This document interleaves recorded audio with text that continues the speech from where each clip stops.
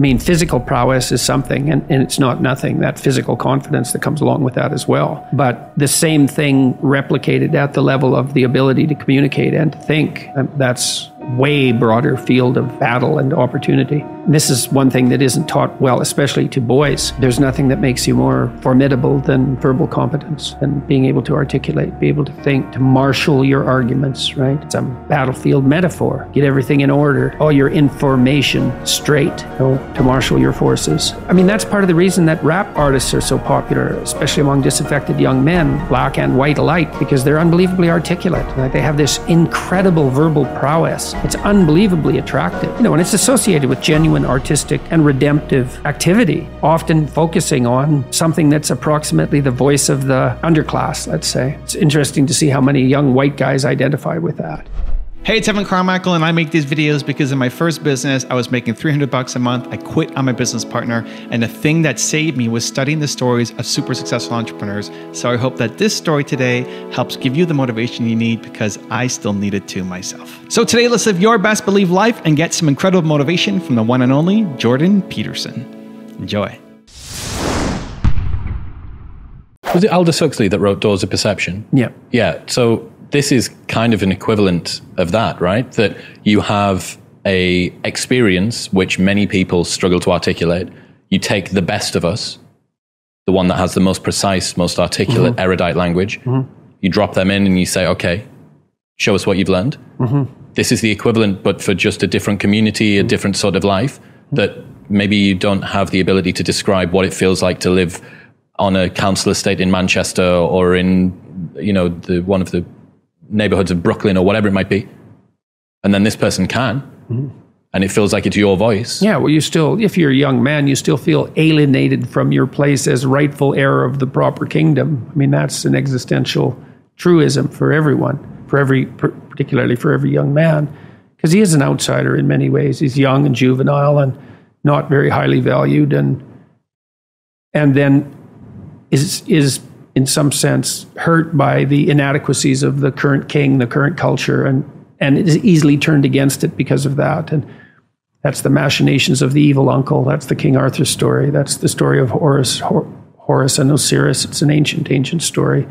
It's the story of Sauron, and um, it's there all the time. And you see in that, in rap music, in hip hop, the, the, all of that alienation being given an articulated voice in, in an artistic sense. And that's a good example of the power of verbal facility. And that's the route to, let's say, marketing education to young men. It's like you want to you want to take your rightful place in the kingdom. It's like get your tongue straight, man.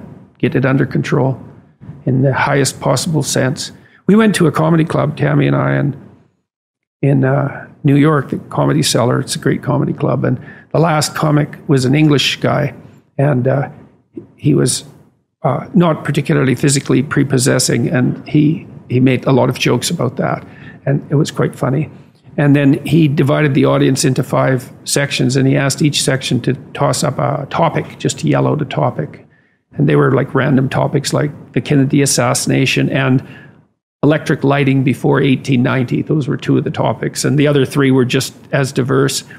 And then he put on some beats and he did a, about an eight minute rap with every verse rhymed.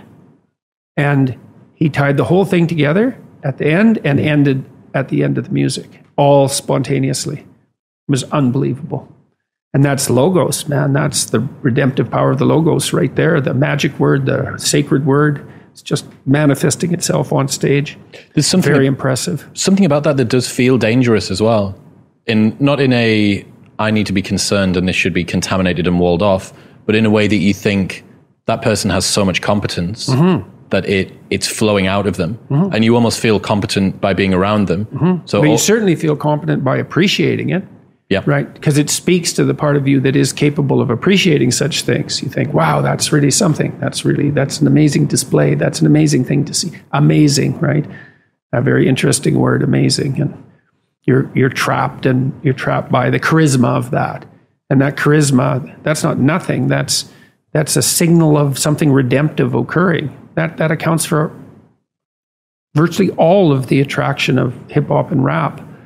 It's the articulate, articulated voice of the struggling but worthy underclass. I suppose that's a good way of putting it.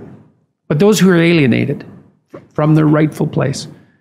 And so that verbal prowess is one of the ways they struggle up towards the light in a and and that that's a good example of that uh, of having that danger under control because it's a dark genre in many ways right it's it's a there's a there's a there's a real undercurrent and air of violence that surrounds that and its culture like the punk movement in the in in in the UK back in the late 70s same same sort of thing but that that capacity to express that in a poetic manner uh, in a compelling manner. Sid or uh, Johnny Rotten was great at that. He was so intense. His, he worked with PIL afterwards, Public, Im- Public Image Limited. Is that it? Public Image? I think so.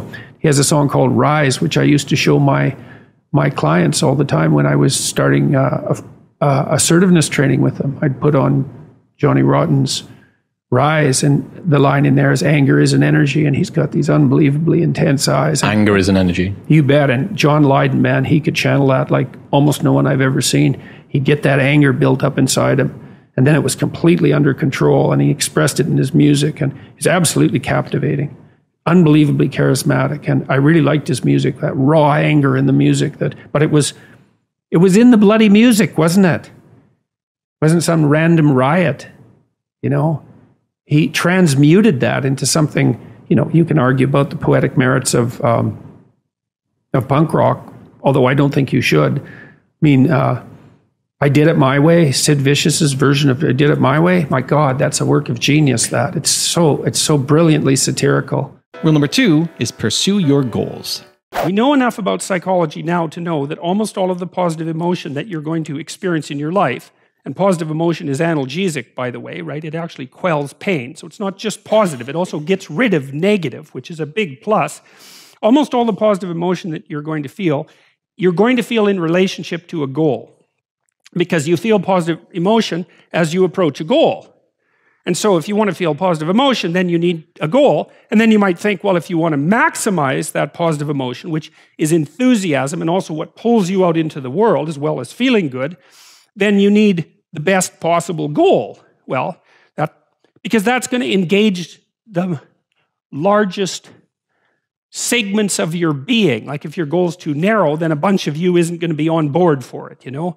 If the goal is well developed and multifaceted, then all of you can partake in that. Even your negative elements, even your anger and, and, and your fear can get on board with that, let's say. So you need a goal, man, that's worthy you got to think you, you need a goal that justifies the tragedy and malevolence of life. That seems to be the bottom line. Now, maybe you think, well, there's no goal that can do that. It's like, well, there are still better and worse goals. So, and I, am not convinced that there are no goals that can do that. I think that's an open question. You'd never know that until you pursued the proper goal long enough to find out who you would be as a consequence of pursuing it. So that's also your destiny or your existential voyage, right? It's also not something that anyone else can do for you. Someone can say, get your act together for Christ's sake and get it, get, get at it. That's, that'll make the world unfold best for you, but there's no way you can know that without doing it. So, and unless you think you've done a particularly stellar job of that, then you have no reason to doubt its potential validity. So, plus, like crickets are telling you this, and so, you know, they're a very reliable source. Okay, so you see the star, the star recurs as a motif in Pinocchio, and one of the more interesting elements of it here is that when Geppetto wants to transform his puppet, the marionette who's being played by forces that operate behind the scenes, which is a really good definition of the persona from a Jungian perspective, right? And also something indicative of something like an ideological or conceptual possession. Geppetto, who's a good guy, is a positive father figure, lifts his, even though he's a patriarchal figure, right, and a very competent one, he still even lifts his eyes up to something that transcends his mode of being, positive as it is, and wishes that his creation would undertake the kind of transformation that would make it autonomous and fully functional as a moral agent. No strings, right? So that's very interesting, I think. Solzhenitsyn said, The salvation of mankind lies only in making everything the concern of all. That's a pretty decent star like goal, I would say. And so, what happens in the Pinocchio story is that because, and I think this is a symbolic representative of what I just described to you that happens at a genetic level if you put yourself in new situations. So, Geppetto is roughly culture in the Pinocchio story, right? He's, he's a craftsman.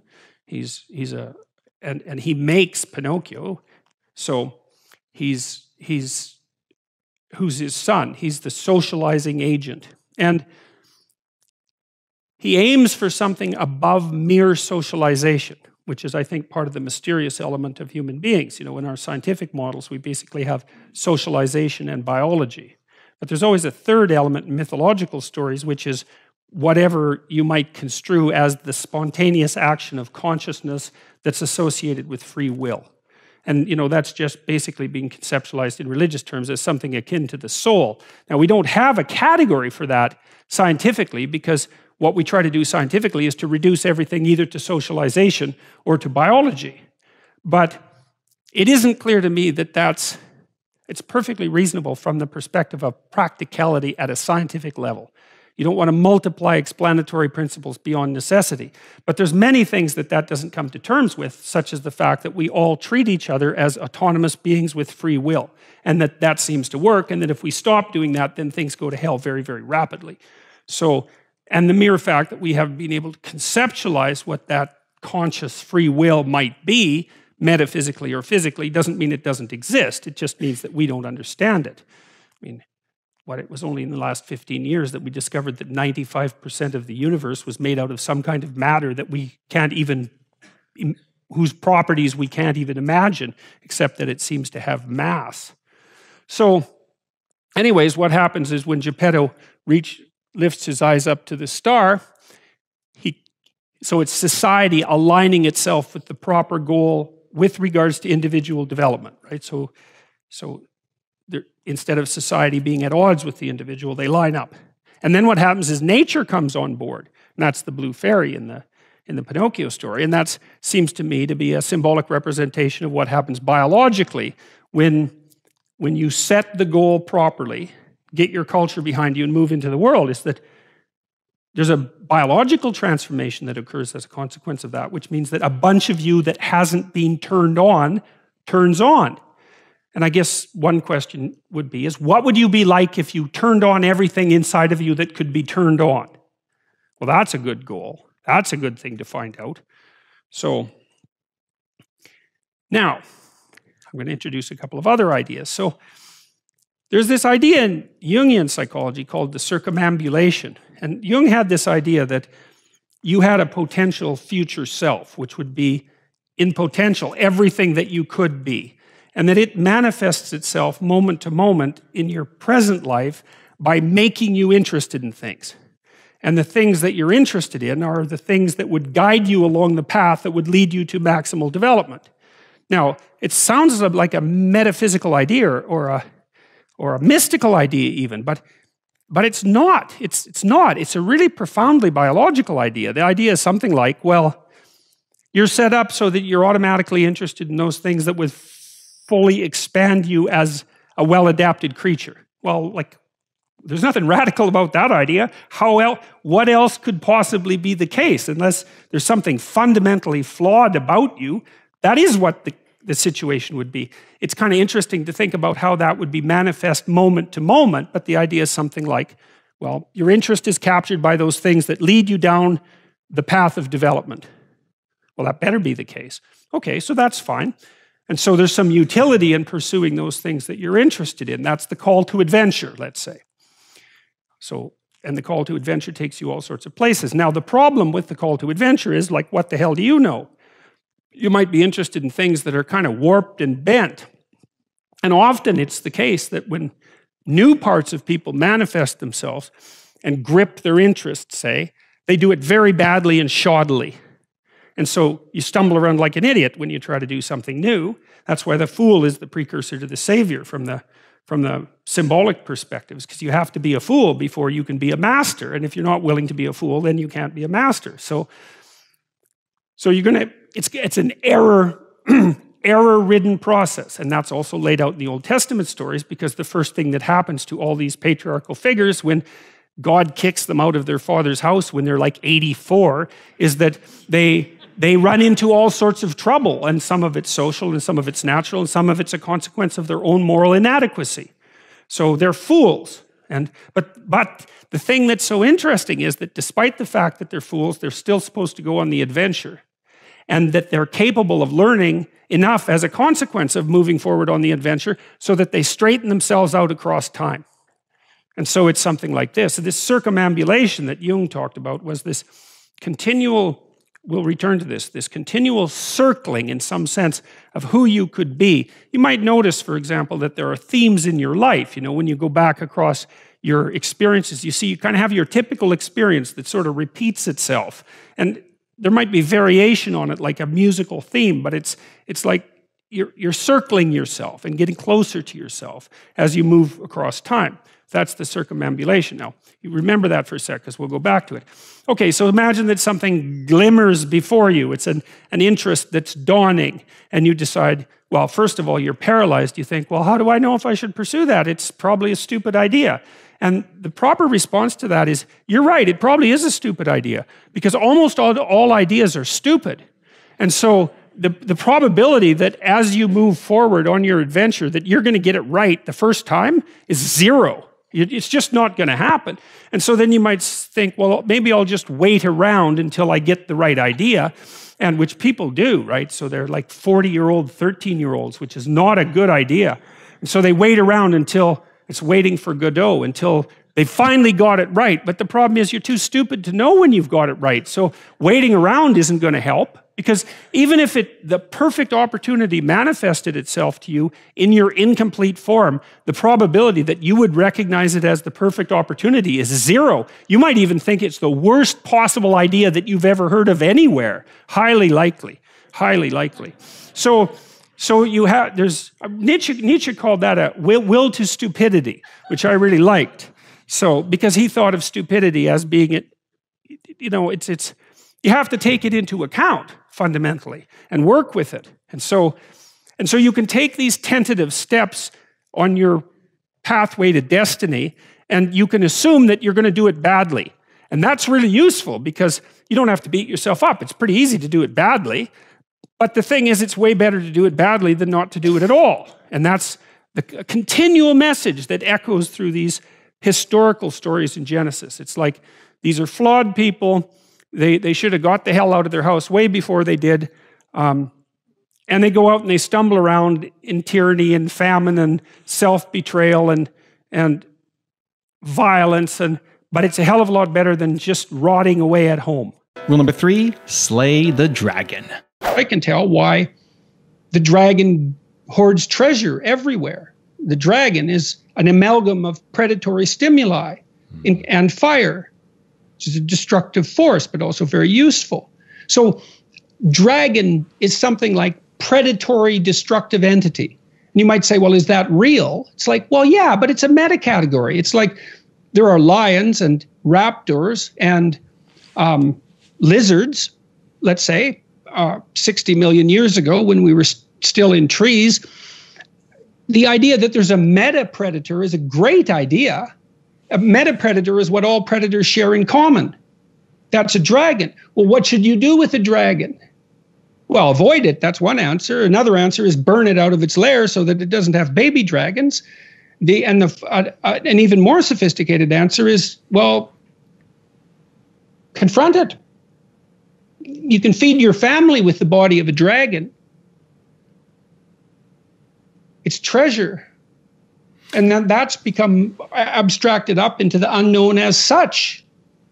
You do a great job of uh, telling the story of Tiamat, Marduk, all of that in a way where you regrounded it in the um, actual historical context. Because they talk about when you slay the dragon, you can actually build things from it. And they talk about the from its pieces. right, heaven and earth were Yeah, made it's from amazing. it. And I thought, wow, it's kind of interesting. And then you said, no, no, no.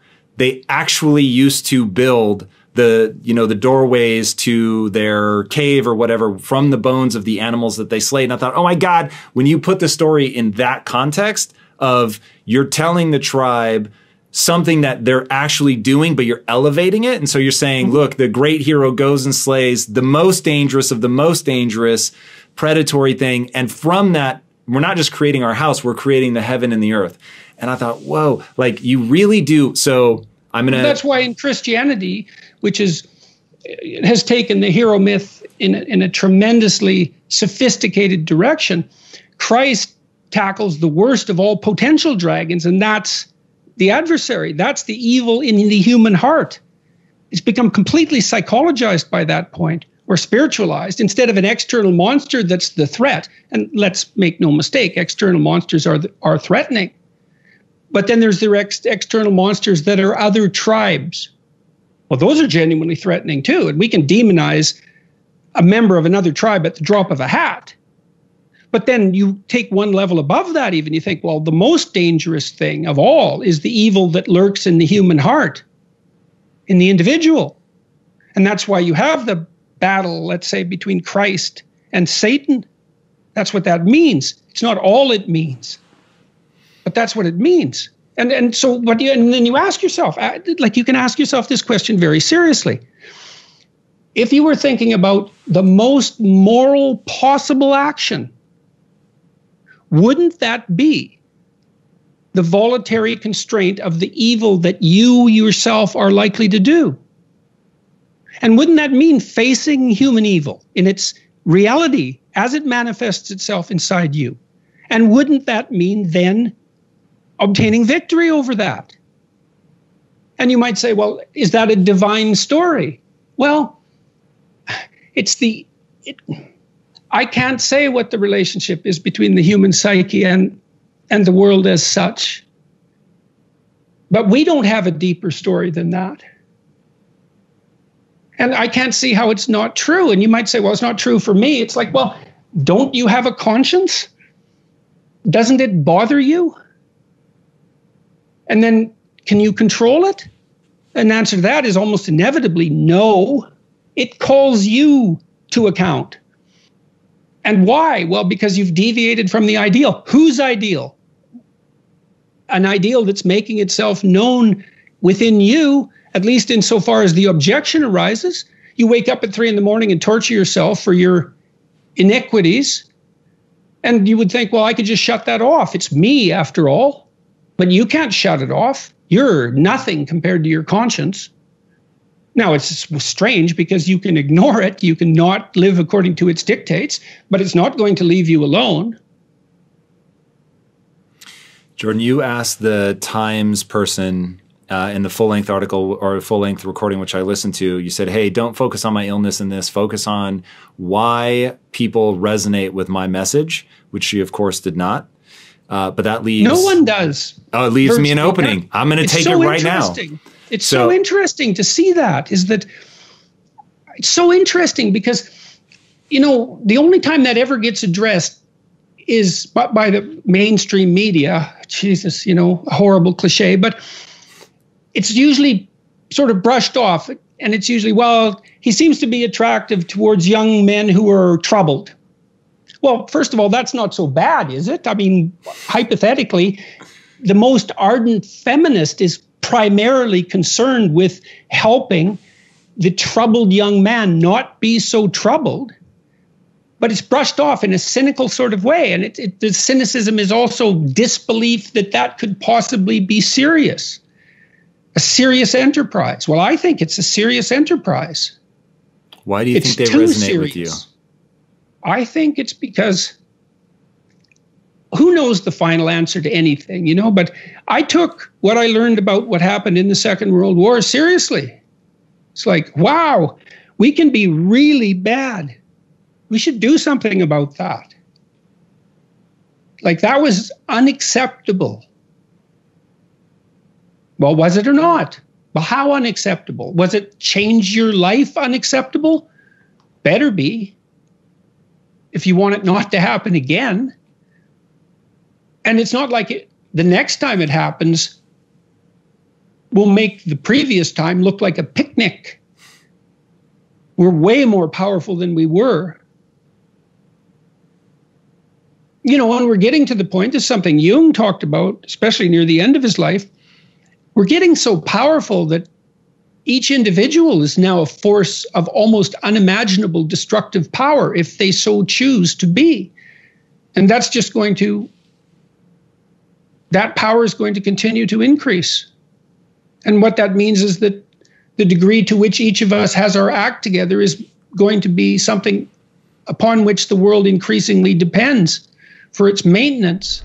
Also, to make sure you're actually taking action after watching this video, I've designed a special free worksheet just for this video. The worksheet will highlight all of the lessons learned in this video, as well as pull out our three favorite learnings and quotes that will inspire you to actually do something. The worksheet will also give you space to write down what your key takeaways are and your specific plan of action to make sure you're getting results. If you want the worksheet designed specifically for this video, absolutely for free, there's a link in the description below. Go click on it and start building the momentum in your life and your business. I'll see you there. Rule number four aim for sustainable improvement. Alan Watts has this quote Yeah. where he says, We can become so consumed with trying to improve our lives that we altogether forget to live them. Is there a way that people can learn to let go of this compulsion a little bit? That that's a really good question. Um, I think my my second book implicitly answers some of that, um, and explicitly some of it as well. But the implicit part is there's an increased emphasis on social ties, and so for me, I snap out of the improvement slash productivity trap to the degree that I'm able when I'm playing with my family, let's say, when we're joking, when we're sitting around a meal time together, when when there's peace there and we can joke and play. And I'm trying as particularly as I'm trying to regain my health, I'm trying to really rekindle that capacity to play and enjoy the moment even if I'm not doing something productive. And there, that that's a very difficult balance to attain. Optimally, like any optimal balance, is difficult to attain. Um, you know, it isn't obvious to me how much of I have no idea the the the multiple sources of my health troubles. I was diagnosed this month with severe sleep central sleep apnea. And so that was a great relief because I have a machine now, so I breathe properly. I was waking up uh, 25 times an hour, apparently. My sleep was, so I was getting no restorative sleep. And so that was one contrib- major contributor. And since I've been breathing at night, I've actually been feeling quite a bit better, unsurprisingly. Um, but I've been scouring my conscience to determine if you have an undiagnosed illness, especially if it's severe, it's very likely that you're going to tear yourself apart looking for what you did wrong to have this arise. And, you know, I think that uh, it, so I've been considering did I take on too much responsibility? Did I work too much, et cetera, et cetera? Um, I don't know the answer to that yet. But what I do know is that since I've been trying to regain my health, I've been doing a lot of walking, and that's been really good.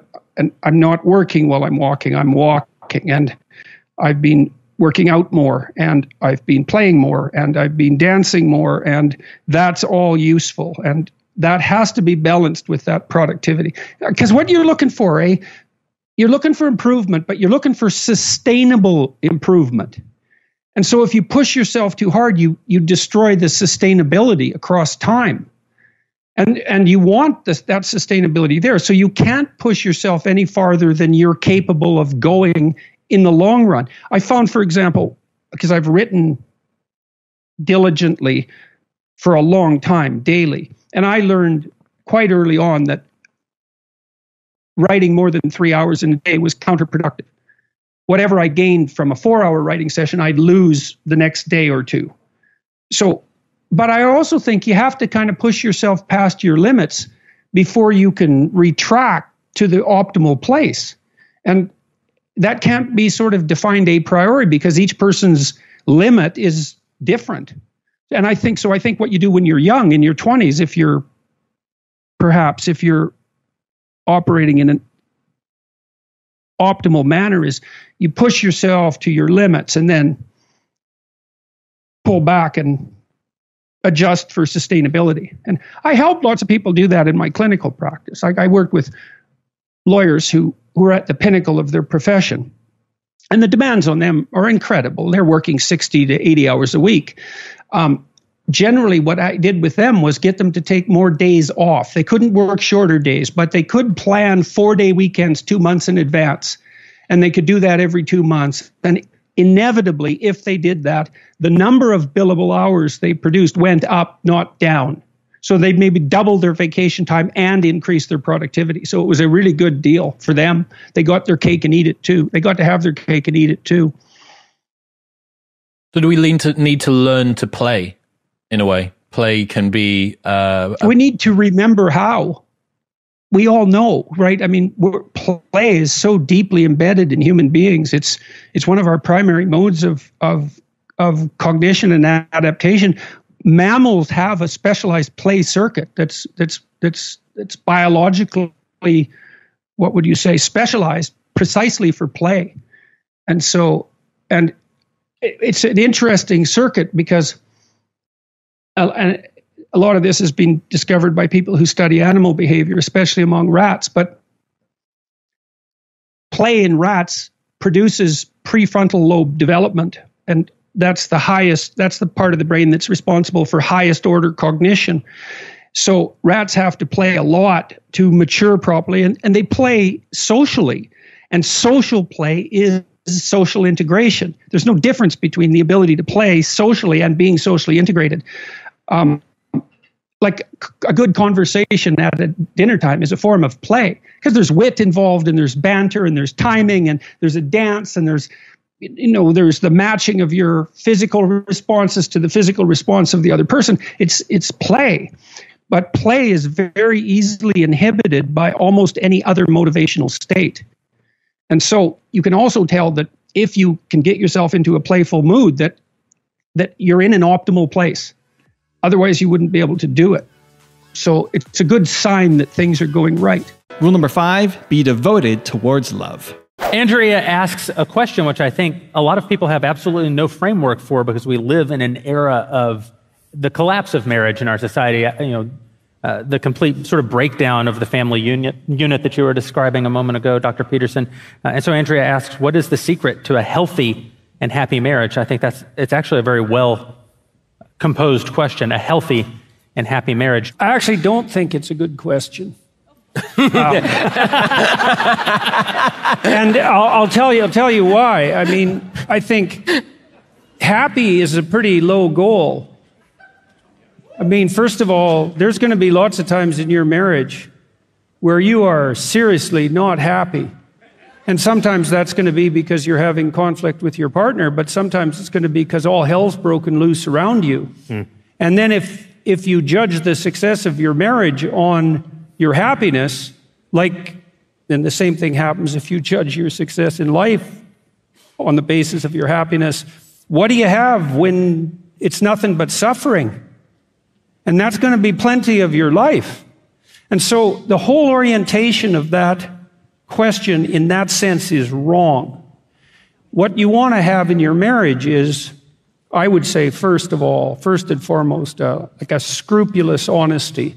And I don't just mean that you tell each other the truth, because you can be brutal with the truth. I mean the kind of honesty that's devoted towards thriving in love, you know? And you want to act nobly in your relationship. You want to be reliable and productive and generous and, and And then, if you're lucky, now and then, you might be happy. And you might have a clear enough conscience so that in those rare moments where you are truly happy, you can also enjoy it without guilt. And so you aim at something a lot higher than happiness, and then you welcome it if it deigns to land on you for brief moments of time. Rule number six turn chaos into order. How do you frame that? How do you take that emergent chaos and make habitable order out of it? You don't know. Is the whole capitalist system rotten to the core? I mean, that's a convenient explanation under those circumstances, that's for sure. Were you working for a psychopathic son of a bitch? Did you make the wrong choice in university and was that your father's fault because you never did what you want or was it your fault for not standing up to him?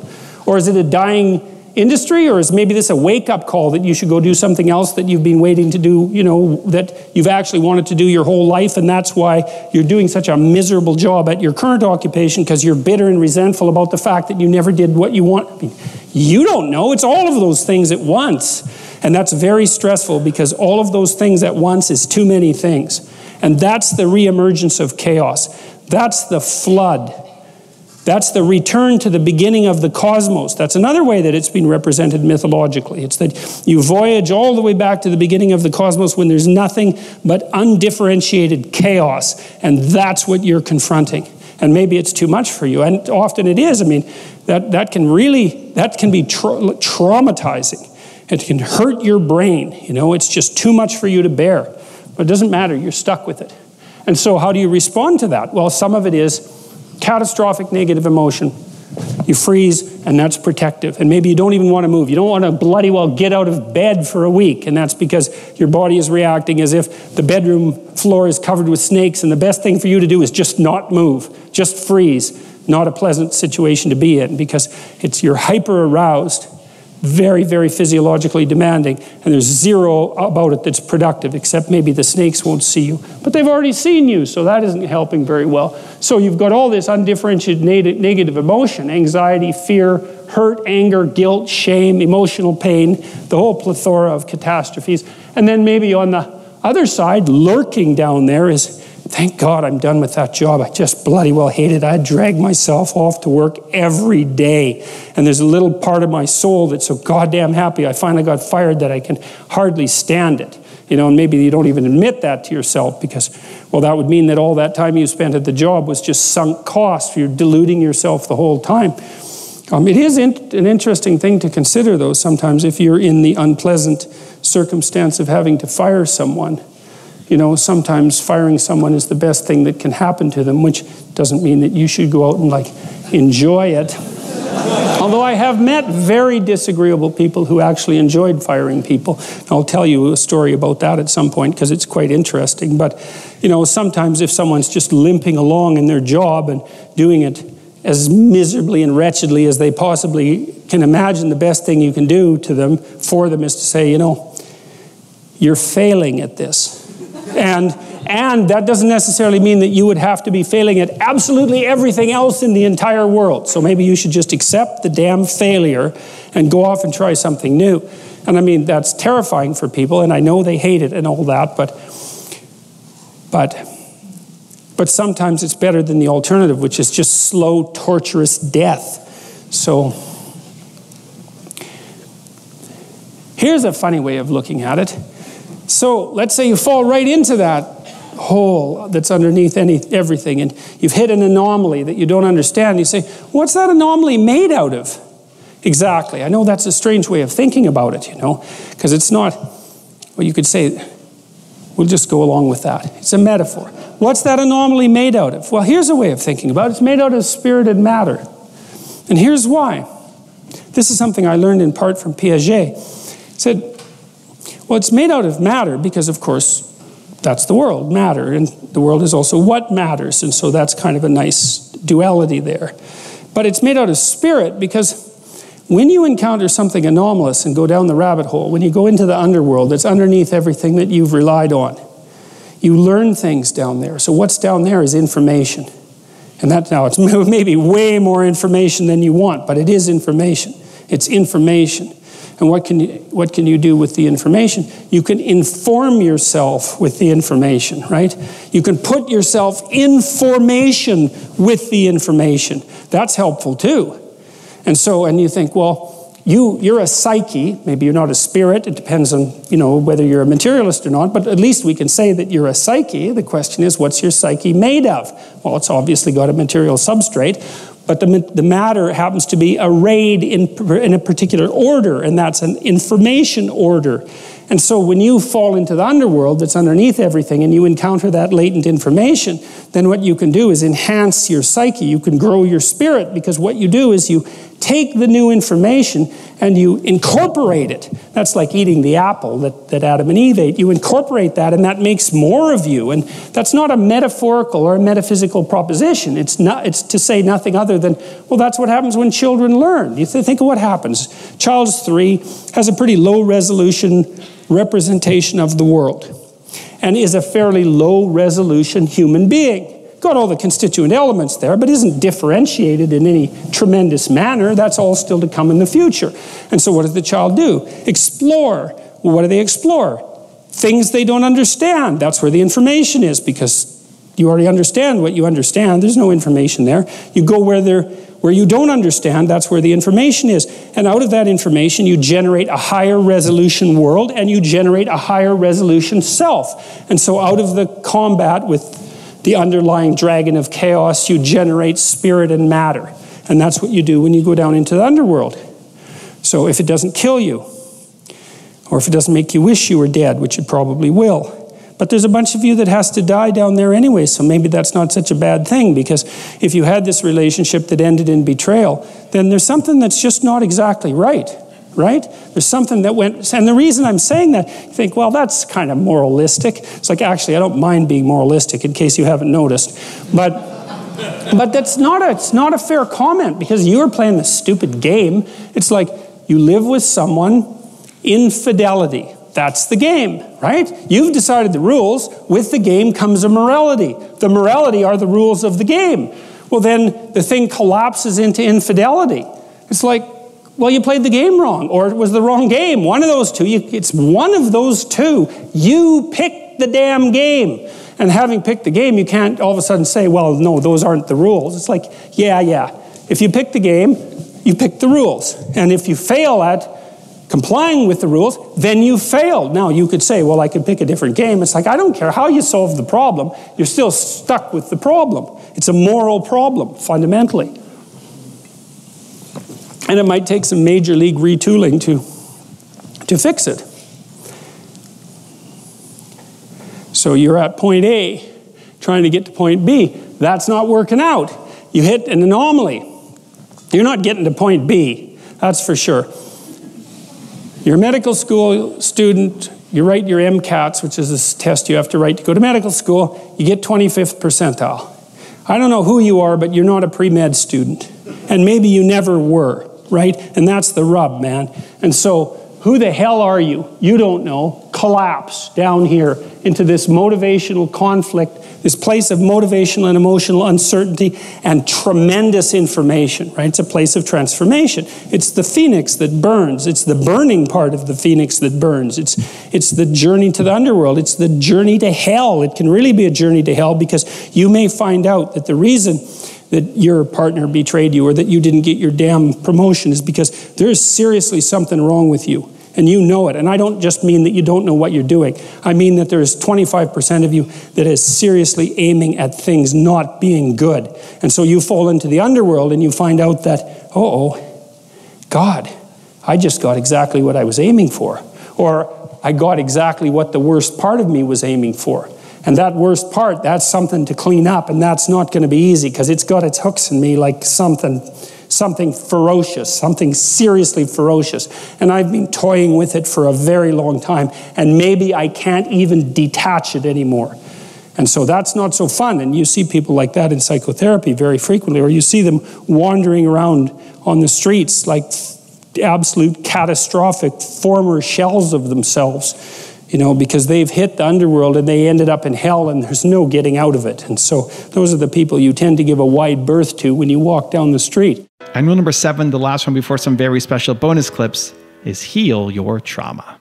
You mentioned sexual shame, um, and it triggered something in me about just the shames of the past that people tend to hold on to. I think I, I might have mentioned this to you the last time we talked. I'm not sure if you know, but I was I was sexually abused when I was five by a man that I didn't know. And for 25 years, I held on to the secret, the shame. Uh, and if anyone ever knew about this, then I would never be loved. I, you know, I right because you I- feel contaminated eh, permanently yeah, I would, you know, I wouldn't have any guy friends. No girls would find me attractive. My parents would disown me. You know, I went down the rabbit hole of these stories of, you know, I'm the only one this has ever happened to. I never saw any examples of this happening to. right Uh, and about eight years ago, I, I started to really heal that and start sharing that shame in, in many different therapeutic experiences that allowed me to start the healing process. Uh, I'm curious from your perspective, with all the work that you've done, what is the best approach for someone to really heal their shame? If whether it's around sexual abuse or trauma or just anything, whether it be small or big or any type of shame that they might have, how does someone release shame in a healthy manner so that it doesn't make them a prisoner of these emotions of the past that hold them back? Well, you hinted at a few things when you just described what what happened to you. Is you said, well, first of all, you know, I thought I was the only person this had ever happened to. It's like no, it's a universal human experience to one degree or another. Now, you know, I'm not saying everyone was sexually abused, and I'm certainly not saying that some people aren't sexually abused to a degree that's so extreme. It's unimaginable where there are others you know get off relatively lightly but it's still it's it's well within the realm of normative human experience that sexual that sex goes wrong in some way. At least you regret something that's happened something you've done or something that was done to you so the, putting it in to when when you're the only person that something has happened to that's really not good. Hmm. Right? Because it alienates you even from yourself. You have no idea what to do with that. And so that's sometimes why people find it such a relief to have their illness diagnosed. It's like oh there is this is known there's a category. Other people have had this experience. Maybe there's a pathway through it. So just knowing that you're not the only person like that can be very helpful.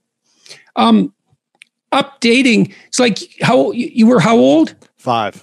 okay well one thing to realize when you're 25 and you were abused when you're 5 is that you're not 5 anymore. Right. right? That the person to whom that happened is no longer there. You're there but so you know you might feel afraid of relationships you might feel afraid of all sorts of things but a lot of that was you're sort of feeling that like that residual 5 year old mm-hmm. I tell a story about one client I had. She was abused by her older brother, and she told me the story. And I drew a picture in my head while she was, you know, I kind of pictured her of at five and this teenage, hulking teenager, you know, taking advantage of her. But as she told the story, I realized that her older brother was only a year, two years older than her. Mm. While he was seven, was like, okay, well, they were, she wasn't the victim of a tyrannical male in some sense. She, they were two badly supervised children. Now, that doesn't mean that what he did was right, but she was still the five year old in the memory, but she was 27 when, or so when she came to see me. And so the first thing I did was just point that out. It's like, think about the seven year olds you know, mm-hmm. right? from for a five year old, a seven year old is an adult, but for an adult, a seven and a five year old are clearly both children. Well, that just changed things somewhat. It, it made her feel less vulnerable in the moment. Mm-hmm. What your brain wants from you in relationship to a traumatic memory is indication that you're no longer vulnerable to the same problem. That's what memory is for, right? Hmm. You remember something bad and you process it so that you change your interpretation or your behavior or the situation or whatever you can change so that it isn't going to happen in the future. And that'll, if you do that thoroughly, you'll generally let yourself rest. Hmm. It's to you have the memory to protect yourself from it happening again. Well, that's the purpose of memory in general. Right. You you you you make sense of your past behavior so that bet the good things that happen to you can be duplicated and the bad things can be avoided. It's not to make an objective record of the world. Hmm. It's to make a functional map of the world that you can apply to the future. And so So how do we, of- yeah, how do we let that go? How do we disassociate something that happened a year ago, 10, 20 years ago that is no longer happening but is seems to be triggering us? Oh, it's very it's, it's it's very difficult. Well, I would say, you know, one of the things you need to develop if you've had an experience like the one you had, perhaps, because I don't know the details, you probably need a theory of malevolence. You need an explanation. It's hmm. like, how could a person do that? Well, you have to have an What if the explanation isn't good? They were just bad person. They just well, then you need a philosophy of bad. Mm. You need a philosophy of evil. You have to understand it so that you're no longer a victim of it. Oh. You have because otherwise you can't put the event in a in a context. right. You know, and sometimes that means the development of real a real philosophical sophistication. And that can help because then you know then you can start to separate out malevolence from benevolence because maybe you're afraid of any intimate relationship now because it's been contaminated with that. And everything's fuzzy and foggy. And so you need to understand the person who did that at least to some degree so that you can separate that person out from all the other people around you who that you encounter in situations that might be reminiscent of it you know so you you felt vulnerable for, for perhaps you felt ashamed. All those things have to be gone through. What do you think you know wh- when you're ashamed when does what elicits that? What are the eliciting cues? What do you think when that happens? All of that has to be taken apart. I said in this beyond order book that you know if you have a memory older than about 18 months that still bothers you right it's still got emotional resonance that you should write it out. mo- Older than 18 months ago or before? yeah. No, older than eight, 18 months ago or more. Got it. Yep. Otherwise, it's not really in the past, right? It's still happening. That, mm. that, that, whether you should delve into something, how you should delve into something traumatic that's currently happening is a whole different issue. But if it's an old memory and it still bothers you, it means that you haven't decomposed that experience sufficiently to detach it from the emo- emotion. So imagine when something terrible happens to you, you don't understand it. Mm-hmm. So then you might say, well, if you don't understand something that's happening to you, how can it be terrible? Because doesn't terrible mean that you understand it? And the, the answer is, well, you understand things in stages.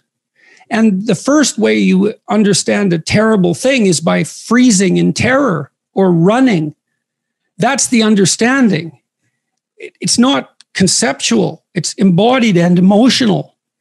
And so, event terror, that's the first category. Okay, now the next question is how do you get it out? How do you get out of the terror? Well, you realize that nothing truly dangerous is happening. Well, what if something truly dangerous did happen? Then you elaborate your view of the world to the point where you're no longer vulnerable to that terrible thing. You speak about the concept of the soul. Um, do you associate this with any psychological constructs? Not any psychological constructs that are more valid than the notion of the soul. No, there's, there's, I would say, what we mean by soul is something like animating spirit. And you might say, well, what's a spirit? And well, that's actually rather easy to answer. So when a child of four is playing house, let's say when a child of four is playing house, she acts out the role of the mother. But acting out, that's a strange thing, right? Because she doesn't literally duplicate in her actions or her perceptions in the game what she observed her mother literally doing. So, for example, she didn't go into her mother's bedroom when her mother awoke and watched her turn her head in a particular way to awaken and count the number of blinks so that she could mimic that in her play. And you know, you think that's absurd, but it's not absurd if it's just mimicry. It's not. It's unbelievably sophisticated. So, what the girl does is she watches her mother manifest maternal behavior across a vast array of instances, and she integrates that with the image of the mother she's received from all the books she's been read and all the little movies she's watched, the Disney movies and so forth. And she abstracts out the animating principle of the maternal and then she embodies that in play, and usually with a little boy, and that's practice for what's going to come later. It's unbelievably sophisticated. And she's embodying a spirit, and the spirit there is the abstraction of the central animating principle from multiple embodiments of its manifestation. And if you think children can't do that, well, then you don't know anything about children because they do that all the time in their pretend play, which is a necessary precursor to healthy psychological development. And so part of what we refer to as the soul is the presence of that spirit, or maybe even the capacity of embodying such spirits. And it's very difficult to know how deep that goes. You know, I had a vision at one point of all the men in my life who've been particularly influential in a benevolent way.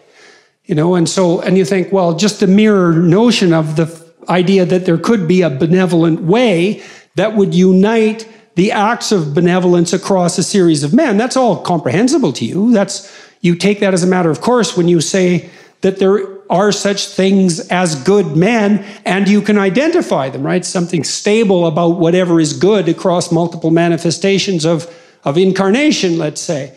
And I saw that transform into the, the Father person of the Trinity as the embodiment of that benevolent spirit. Now, I don't have any idea what that means metaphysically because who does? But, but that, that spirit manifesting itself within is certainly part of what we refer to when we talk about the soul. And you can see that shine through people. I mean, it's part of what gives someone charisma. It's part of what elicits the instinct to imitate in you. You know, when you see that even in simple things, when you see a remarkable athlete do something incredibly athletic to put the goal, to put the soccer ball, the football ball through the net to score the goal, and everybody leaps to their feet in celebration of that. Well, that's that's a celebration of the divine capacity to hit the target dead on. And it grips you at such a, lo- a low level, way down inside your soul, that you're compelled to your feet to cheer, and you don't even know what you're doing. But you enjoy it, that's for sure. And that enjoyment is also a sign of the depth and utility of that response. You see this in all, all the things that people do that are, you know, so-called popular entertainment. It's unbelievably sophisticated. The soul is participating in that in the fullest extent. And, you know, you can say, well, there's no use for the religious, there's no necessary use for the religious terminology. It's like, well, until you come up with a better word, there's plenty of use for it because it's a very complex and deep phenomena. And to, you know, just cast it into the realm of superstition in some casual manner is it's just not helpful. Not in any possible it's not helpful scientifically it's not helpful ethically it's not helpful existentially. Try treating someone for a while as if they don't have a soul. Just really i mean it just you know treat them like a deterministic machine if that's your belief. Really act it out You'll be like the most hated person in town in about 15 minutes. Well, I mean, what do you make of practical evidence like that? I mean, you interact with people as if they're free souls capable of choosing between good and evil. That's what you do all the time. And maybe you can addle yourself out of that by some ridiculous rationalist ideology, but that just means you're kind of a gabbling fool, and it's just going to make you trip over things you don't even notice in all of your social interactions. And you tell me, I don't care how you think philosophically or ideologically, you bloody well know that what I just said is true. So, and that's true even when you're interacting with an infant or a small child. It's true when you're dealing with someone who's elderly and, and virtually incapacitated in every way. You still see that divine spark, for lack of a better term, and we do lack a better term, by the way. You see that everywhere if your eyes are open and if you're willing to see it. And to the degree that you're responsive to that, then your actions are guided by love and your words are guided by truth. You need that instinct for meaning too. So, and, and, we should get this real straight. Why do you need it? Well, you need it because life is really, really difficult, right? I mean, people have a rough time of it. There's plenty of suffering in life, and everyone is going to encounter it, right? They're, they're, you don't, you know, you learn this as a clinical psychologist, and you know this generally, you know, unless you're an extraordinarily fortunate person. Um, you don't have to talk to someone for very long and, and really talk to them and get beneath the surface until you find, you know, there's a tragedy or two or three or 10 lurking not very far beneath the surface. Someone in the family is very ill, there's a childhood history of extreme pathology, alcoholism somewhere in the family, maybe a touch of insanity, someone has cancer, you know, someone, some an older relative is dying, there's financial trouble, there's economic trouble, there's marital trouble. It's like life is trouble. And now, you know, it, that doesn't mean it's all trouble, but man, it's trouble. And sometimes it's, it's a lot of trouble. And sometimes it's so much trouble that you can, you can barely stand it. And, and you see that because people, you know, people get depressed and they commit suicide. And the reason they do that is because they think not being is better than being. And that's quite the decision, you know. So, and, and it's not that uncommon among people who are depressed. And so it's, it's, a, it's, a, very, it's a very important thing to consider. And it, and it isn't just a matter of depression and suicide. That's bad enough. But, you know, if you're unhappy because your suffering has pushed you past the point of your ability to cope, then there's all sorts of other things that can happen to you that aren't directed towards you. You can become cynical and you can become bitter and you can become cruel and you can become narcissistic and deceitful and arrogant. And, and it's like everything's for you. And then you're out for revenge. That's a nice one. I don't know against who, but maybe everyone. Maybe even including you, because you're not happy about the role you've played in generating your own misery. I mean, there's a lot of darkness underneath the suffering. And so, and, and, and that's, that's an ever present existential danger for human beings. You know, we're aware of the future, we're aware of our fragility, we're aware of our mortality. It's something that makes us truly unique truly conscious in a way that no other creature is, and capable of things that no other creature can do, but also bearing an unbelievably heavy existential load. We're the only creatures that have to always contend with the fact that we're finite and that everyone we know is in the same position, that allied with the suffering. And so that's there all the time. And, and you know, even, even in, in the brightest moments, in some sense, you know, in, in, in Renaissance paintings, in, in still lifes, they used to put a memento, a memento mori often in the, in the still life, like a skull somewhere in the corner, or sometimes, sometimes in, a, in, in a very strange perspective so that you could only see the skull if you were standing like right beside the painting instead of dead on. But the idea was to always remember, you know, that everything that exists is tainted or touched with the, with the, with the, with the, with the taint of mortality. And, you know, that's rough, but there, there's some useful things in it. It keeps you awake and it, it keeps you focused if you're careful. But it also does indicate to you, if you think about it, the necessity of having a meaning in your life. Because, because if it's true intrinsically that life has this unbearable element of suffering, which seems to be completely in, in what would you say, indisputable as far as I'm concerned. And it's worse than that, too, because it's not just suffering, it's suffering contaminated with malevolence, right? It's, it's bad enough to have something bad happen to you, and it's likely that that'll happen. But it's even worse for you to do it to yourself and to know that you did it. That's rough. And it's also extraordinarily rough to be betrayed by someone else or, you know, tyrannized by your own culture. And so, and that's, that's not just suffering, that's like unnecessary and pointless suffering uh, that's being directed at you by something that wants that to happen. And so both of those are very, very powerful, let's say, archetypal forces, suffering and malevolence, and we have to deal with them at every level of reality. And you need something to, you need something to push back against that. It's not optional if that's the default position, and I think it's the default position. Like a meaningless life isn't meaningless. It's suffering and malevolence that's not good. And, and if that's acted out, you know, that, that's the other thing. If that's acted out, and I, I've read the accounts and the actions of people who've taken a very vicious turn into the darkest parts of the underworld, consequence of their resentment and their malevolence, and then their desire to make everything in the world suffer for the outrage of its existence, man. I mean, that's how we turn things into hell. If you want to know why totalitarian states take the brutal twists they take and why people are motivated to do the absolutely terrible things that they do, well, that's why, is that the suffering and the malevolence that's intrinsic to life overwhelms them and, and they turn and they turn in a very bad direction. And then they make everything that's already bad way worse and we're very very inventive at such things.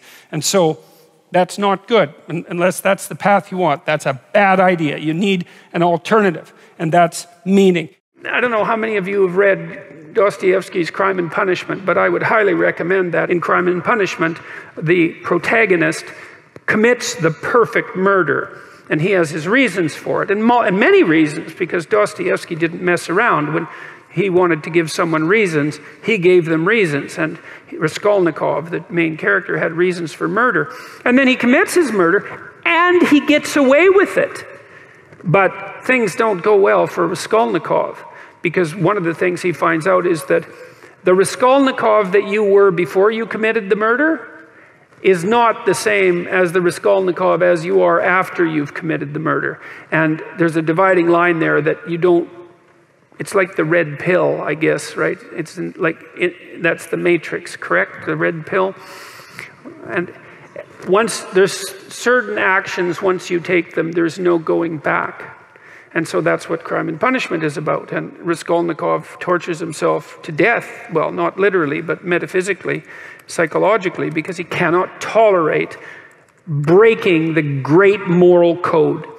And so it's, it's a great book. It's truly a great book. And, and, and it's also extraordinarily like it's a it's a it's a it's a murder mystery thriller as, as well as being a deep philosophical book so if you're in the mood for you know a murder mystery thriller that's also a deep philosophical book then that's the one for you human consciousness is that faculty that confronts potential itself. I think there's good neurological evidence for this, by the way, for those of you who are scientifically minded, because uh, we build circuits within us for habitual action that we've practiced many times that seem to run in a very deterministic fashion. And we are a strange combination of deterministic and non deterministic, as far as I can tell. But what our consciousness seems to be for is to encounter those things that we have not yet encountered. And those things that we have not yet encountered seem to me to be those things that have not yet been brought into being. And so you could say that what our consciousness is for is for the encounter with potential.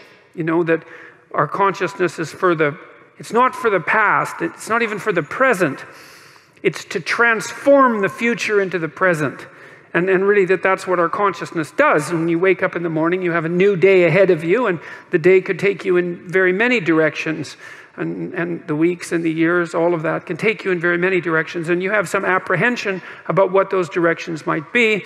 You have some apprehension about what role your choices might make in transforming that potential into one form of actuality or another. I mean, you certainly know that there are dreadful mistakes that you might be very tempted to make that would produce all manner of hell around you and still be tempted to do it. It seems like it's sitting there right in front of you as a possibility.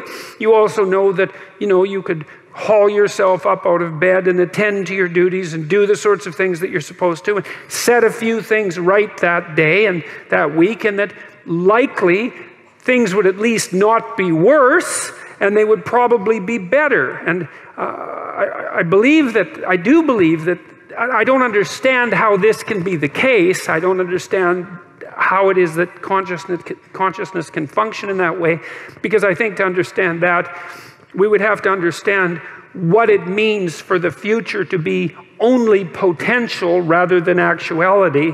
And who the hell understands that? I mean, no one.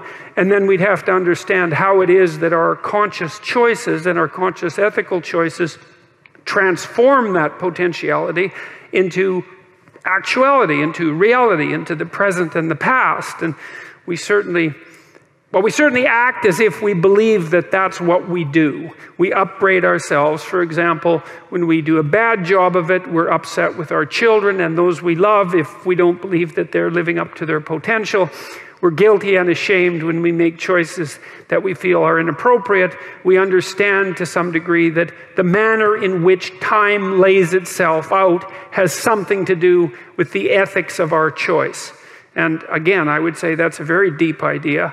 I think it's a, I think it's, I think it's the most true idea I know. It's very emphasized, that idea emphasized in ancient religious stories, such as those that are outlined in Genesis, or in Genesis with its strange insistence that, you know, God is that which brings order out of chaos, formless potential, generates the world out of formless potential, and that we're somehow made in that image which, which seems to me to be the case. And that the proper way, by the way, to go about acting in that image is to act in relationship to the potential that confronts you with truth and with courage, with careful articulation. That's the logos. And that if you do that, then what you bring forth is, is good. Genesis, one of the things God has Adam do first. So God makes the world by speaking. Okay, so that's the first thing to think about. You're supposed to think like in a sophisticated way about this. The idea is that there's some integral relationship between communication and the structure of being. It's part of the role that consciousness plays in the world, whatever that role is. Language takes the chaos and makes it into things. And so God has Adam name all the animals. They're, they're not even really real until they have names. Now, they're more implicit. That's another. You know, here's an, here's an example. Let's say that you're having a rough patch in your relationship and you don't know why. It's unnameable. Is it real? Well, yeah, it's manifesting itself in a, like a physiological discomfort. Then you talk about it and you name it. It's like, it goes from this blurry thing that's kind of potential, it goes snap, mm-hmm. and then it's this thing, right? And then that's a horrible thing. It's like a little poisonous thing, but it's not a whole foggy cloud of potential poison. It's like this little sharp poison thing. And then you think, okay, it's real. It's a little monster, but it's not, it's little at least, and now probably we can do something about it if we can admit to it. So it's this precision that's specified. You got to name them first. Absolutely, because the unnameable is far more terrifying than the nameable. You see that in there was a great Blair Witch Project, mm-hmm. terrifying movie. Oh, I thought it's it was scary. brilliant. That, yeah, yeah, Well, it's unnamed. There's nothing terrible happens in that movie. It's all the unnameable. It's like what's going on? What's going on? What's going on? And no matter how terrible the actuality is, it's rarely as terrible as your imagination. Because your imagination, like it's an old thing, it's seen a lot of terrible things in the history of life. Like it can put monsters everywhere. And so it's almost always better, it might be better without exception to name the thing, no matter how terrible it is. And if you can't name it, what that means is that you're you're telling yourself that you're so terrified that you can't bring your attention to bear on it and that makes you, you're the loser instantly. If it's so terrifying that you cannot face it, it's one. my wife is a massage therapist and she's very physiologically aware. And so she's also helped me with this sort of thing. But we watch people on the streets all the time. And people in general now have very poor posture. Yeah. It's very bad for them. Well, I mean, that's that's got to be phone related too, right? We're all well, yeah, I think that's part of it, but I also think it's something our culture doesn't attend to. Like you kind of have to remind your kids to stand up. You know, it takes a certain amount of conscious effort. But yeah, in that chapter, I talk a lot about lobsters, which I'm, I'm kind of, I kind of have an affinity for lobsters, and because they, well, the the short story is that when a lobster loses a fight, because they're fighting all the time for dominance, let's say, in their hierarchies, he kind of crunches down, so he looks smaller. When he wins a fight, he stretches out, looks bigger. And so he's signaling to other lobsters the tally of his victories, let's mm-hmm. say. So if a lobster has won a fight, he's more likely to win the next fight than you would calculate from having a tally of all his previous defeats and victories. And if he loses a fight, then he's more likely to lose the next fight.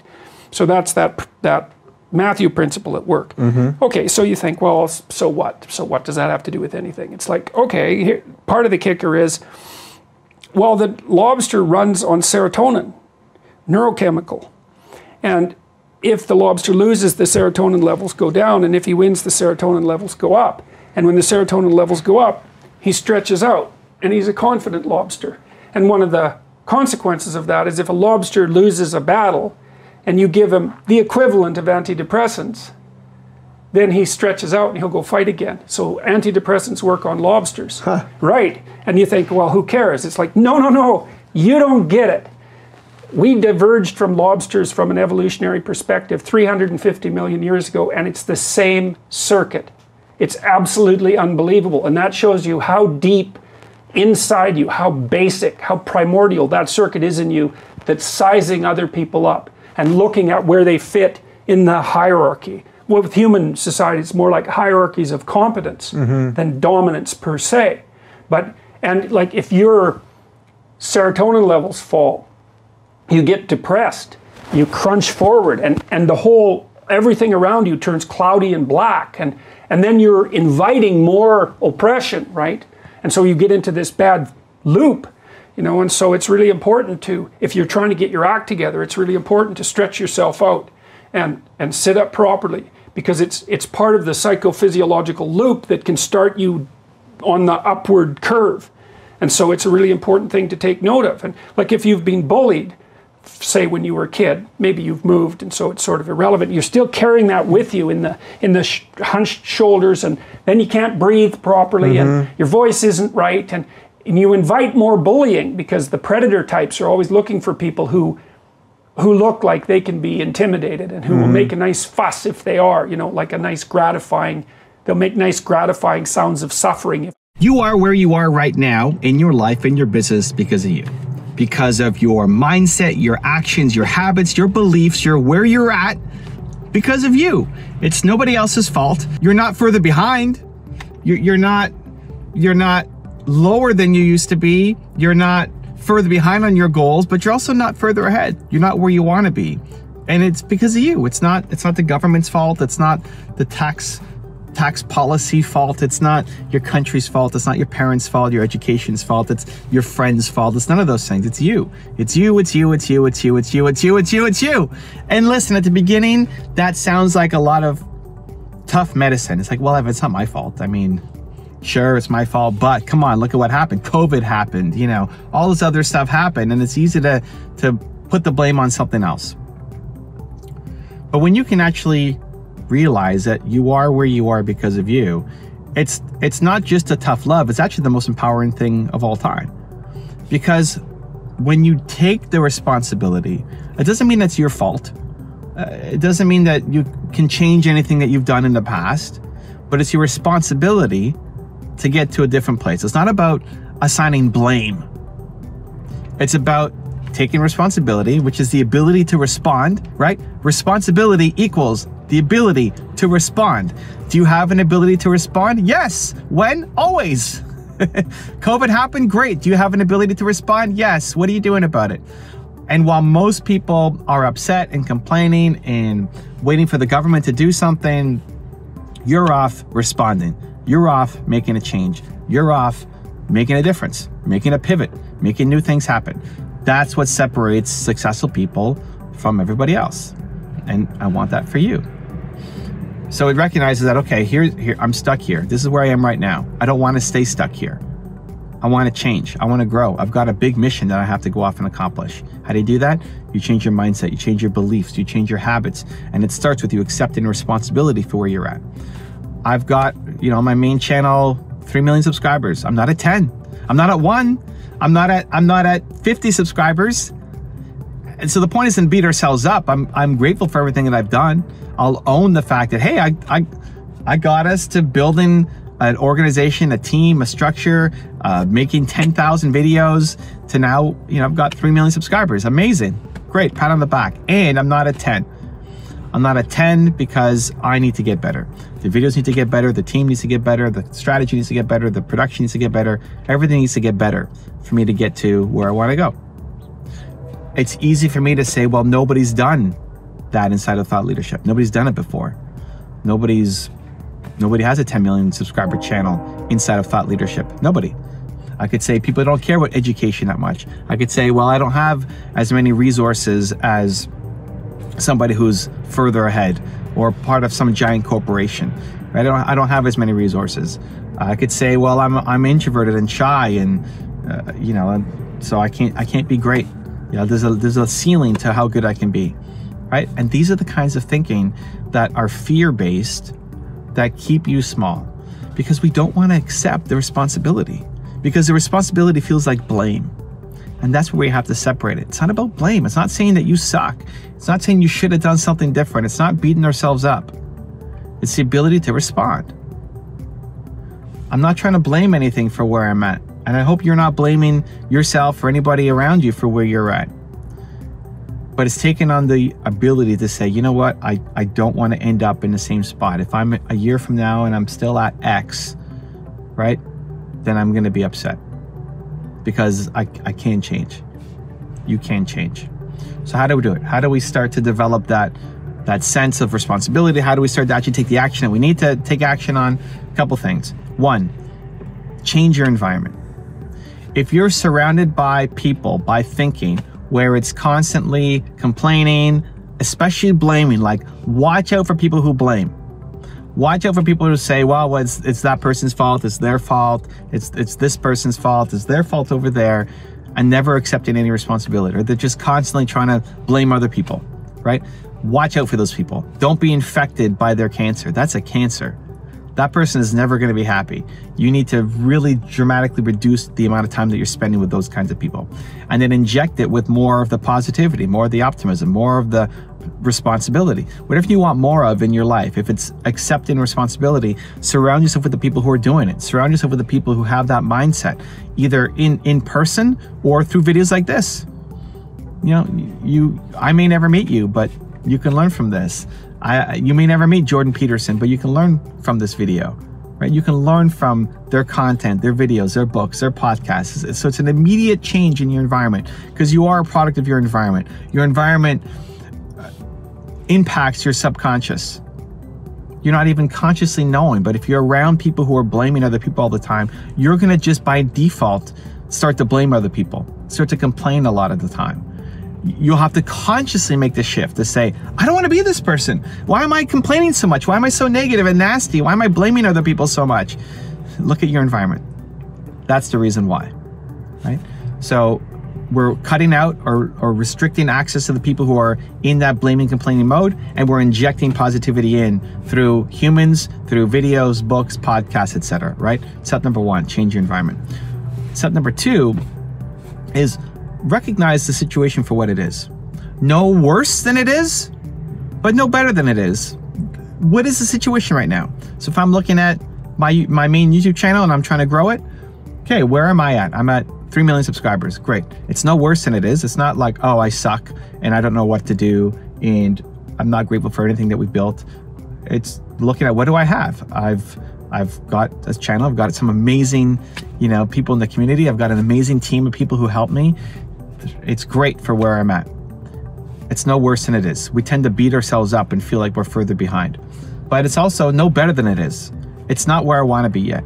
And we're still not good enough at anything. We're not good enough at production, at thumbnails, at titles, at, at editing, at, at me being on camera. Like we're not good at we're not good enough at any of this stuff. None of it. Right? It's where we need to be. So you're changing your environment, step number one, to have a more optimistic, more positive, more energetic, more happy environment around us. Two, we're then looking at the situation for what is the truth of it. No worse than it is, but no better than it is. When it's worse, we, we pound on ourselves and tell ourselves we suck. When it's better, we feel like we don't have to change because everything is great, right? So no worse than it is, no better. And then three is what are your actual steps? What are you going to do?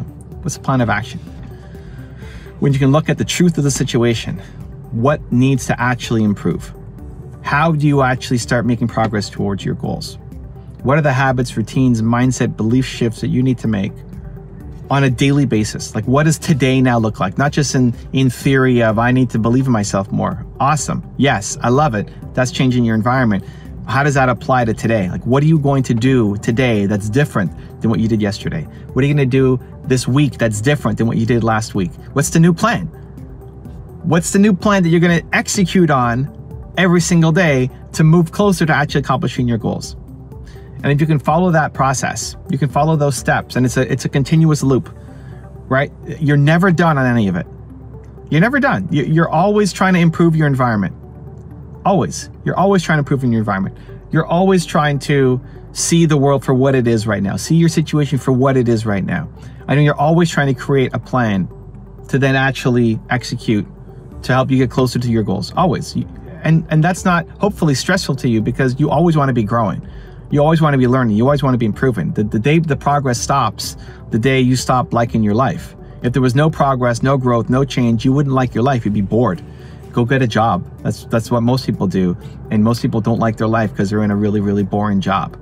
Right? So you you have these steps on loop, on repeat. And that's how you start getting closer to becoming the person you want to be and achieving the goals that you want. At the start of all this, though, it's still the accepting responsibility. Responsibility does not equal blame. You are where you are because of you, because of the choices that you made, because of the beliefs that you have, because the actions that you have taken. You are where you are because of those actions. And that's gotten you so far. And if you want to change, you want to grow, you want to improve, you want to hit your mission, you want to get closer to uh, hitting your goals, you now have to take responsibility for the person you need to become to actually make those dreams a reality.